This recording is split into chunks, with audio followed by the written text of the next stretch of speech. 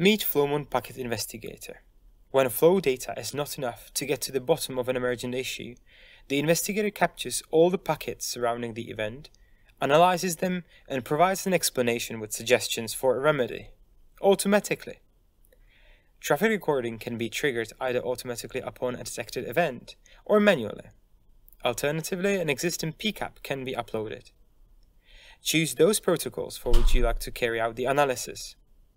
Results will appear momentarily in the Recordings tab. This organized list shows a high-level overview of the findings displayed as a traffic light.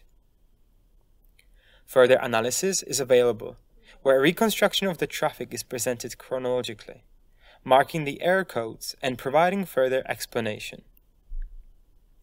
In this email communication, the system warned us about a missing SMTP authentication, but this doesn't mean a communication error.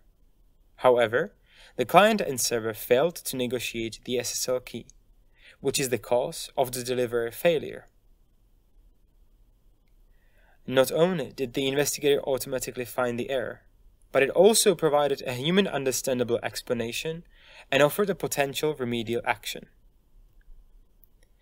The system also provides traffic statistics, and in combination with other Flowmon modules, it offers additional analytical and detection capabilities. For more, visit www.flowmon.com.